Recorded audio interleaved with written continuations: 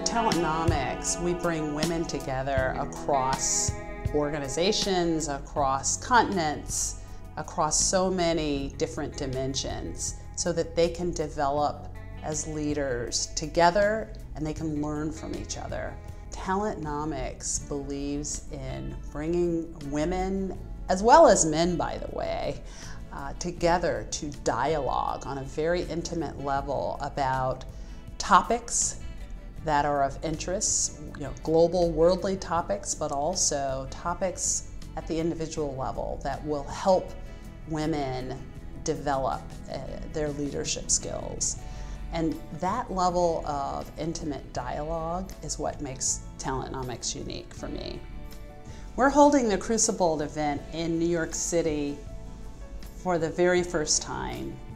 And this event is not simply going to be an event from a, a corporate business perspective, but we're going to have presenters and facilitators that talk about important issues from many different perspectives.